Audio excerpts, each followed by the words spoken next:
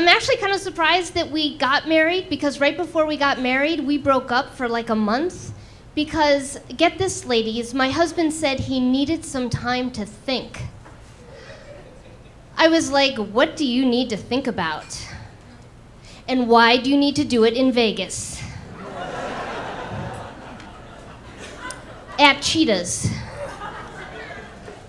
So I was completely crushed. I didn't know what to do. I was crying, you know. So I decided to pray about it, but I don't really pray a lot.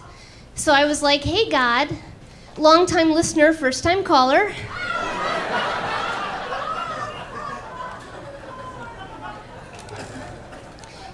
and it all worked out. Um, you know, we got back together and everything, and but while we were broken up, I tore up all the photos that I had of me and my husband together.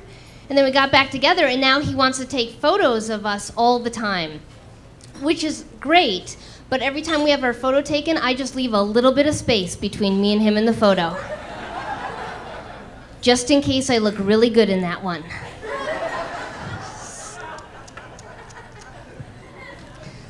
So now that we're married, um, we like to do the role playing in bed, but like I'm a performer and he's not he can basically only play one character,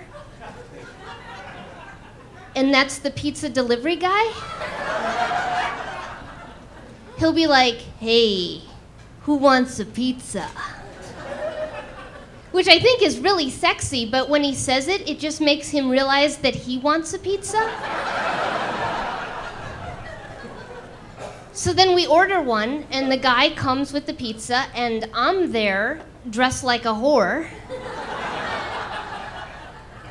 and the guy's like, okay, it'll be 1472. And conveniently, my husband has no money on him.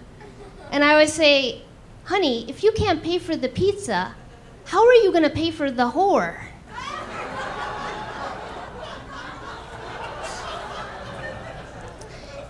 Next time you're in the supermarket, check out how they sell the honey.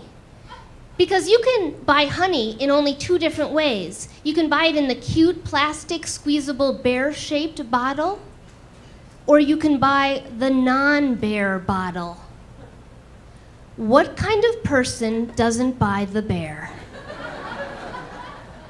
I don't know about you, but I like my honey to come out of a bear.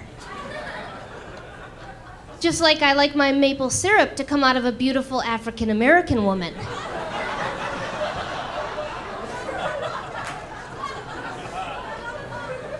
And apparently, so does Mr. Robert De Niro. Thanks a lot, everybody.